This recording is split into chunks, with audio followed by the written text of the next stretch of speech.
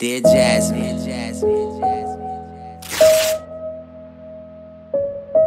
Dear Jasmine, Dear Jasmine, I wonder if this love is everlasting. I promise not to treat you like your last. Hi babes, hi boo boo, hi darling. Hi guys and welcome back to another video. Uh oh. Okay, my voice is much better now. Those of you on my Instagram saw that I posted that I was not feeling well. I'm still in isolation, but I decided to do the tutorial. I was just getting bored every day if I sound funny, that's because I still have a cold and I am not like fully myself yet but we're getting there we're getting there okay?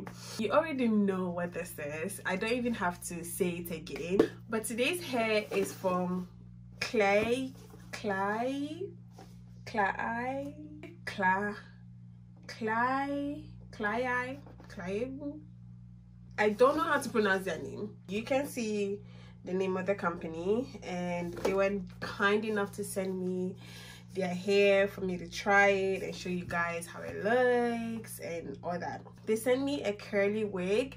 I have already kind of prepped the wig. It didn't come bleached which is so annoying.